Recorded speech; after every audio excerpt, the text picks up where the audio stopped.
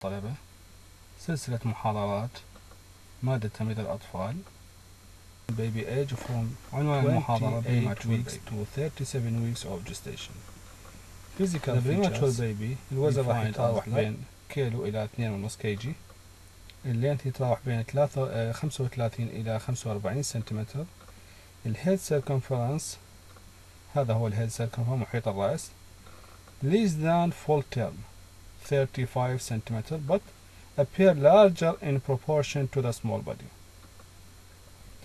The small upper arm and lower limbs, fingers, nail uh, very thin, little subcutaneous fat so the skin appear wrinkled.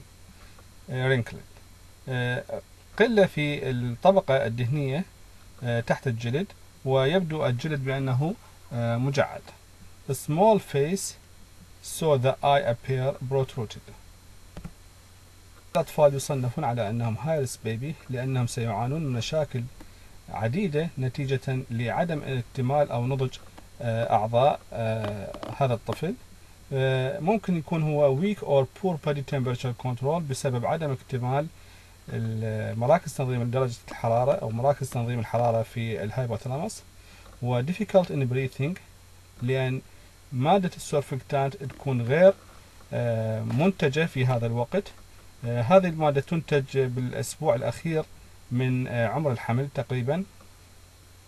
طبعا بعض الأحيان نستخدم الهيدروكورتيزون نعطي الهيدروكورتيزون للأم قبل الولادة بيوم أو يومين تقريبا حتى يعني ينتقل هذه المادة إلى الجنين وبالتالي تحفز وتسرع من عملية إنتاج ال surfactant طبعا ال surfactant هي مادة تنتج داخل ال alveoli وتعمل على prevent lung collapse إذا كان عند الطفل RDS بالتأكيد حيكون عنده cyanosis لأن صعوبة التنفس تؤدي إلى الإزرقاق أبنية more than in full term immature immune system more infection. راح يكون هو high risk for infection.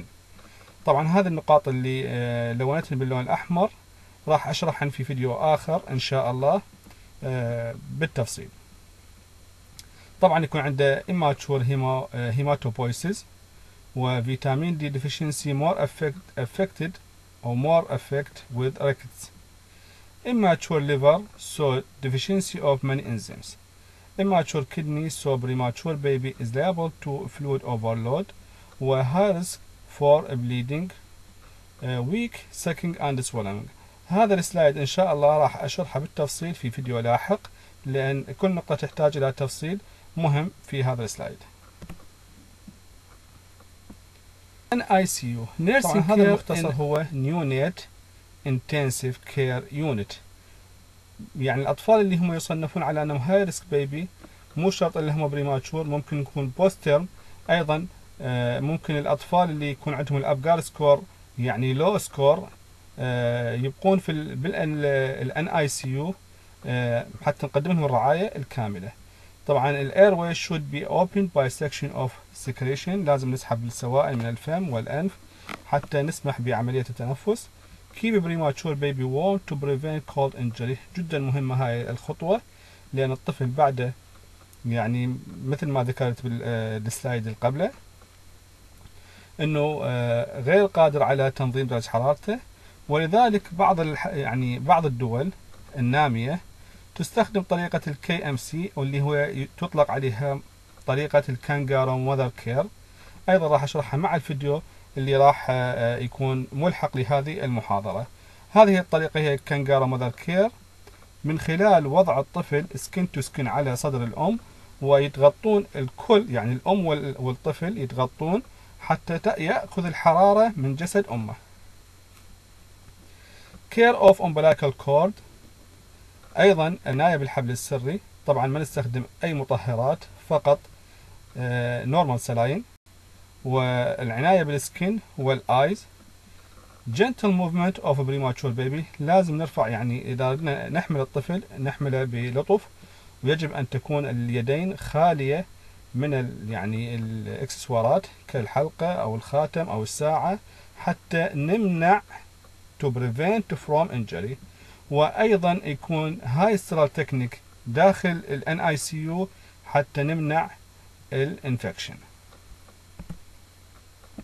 nursing care in incubator include طبعا العناية التمريضية بالحضانة تشمل لازم إحنا uh, put premature baby in incubator which was prepared for him لازم يعني تعد الحاضنة من بين طفل إلى طفل لازم تعقم وتعد بصورة جيدة تنظف حتى تستقبل طفل آخر لمنع انتقال العدوى.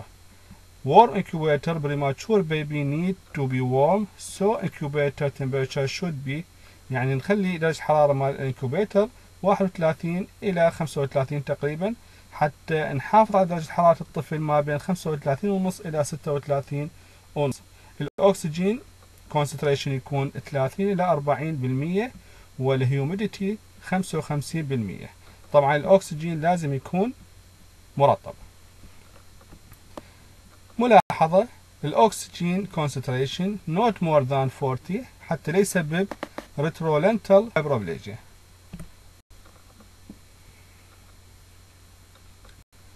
هذا هو عشان هذا آه، هنا تكون مفاتيح نتحكم بها بدرجة الحرارة والرطوبة وكمية الأكسجين.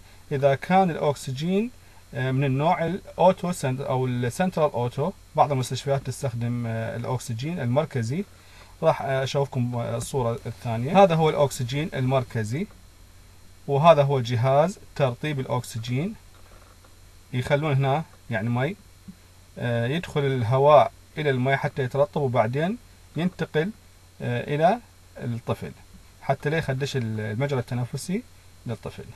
طبعا هذا النوع الآخر اللي هو يستخدم على البطل الخارجي مو شرط يكون يعني central O2 supply إلى هنا. هذا اليوم. مع هذه الملحوظة المحاضرة هي موجهة إلى طلبة المعهد الطبي قسم التمريض حسب مفردات منهج مادة تمريض الأطفال. ارسلوا لي يعني آه، تعليقاتكم. واستفساراتكم حول المحاضرة وإن شاء الله راح أجاوبكم عن قناة التليجرام أو موقع Google Classroom الخاص بمادة تمريض الأطفال. إلى اللقاء في محاضرة قادمة إن شاء الله تعالى.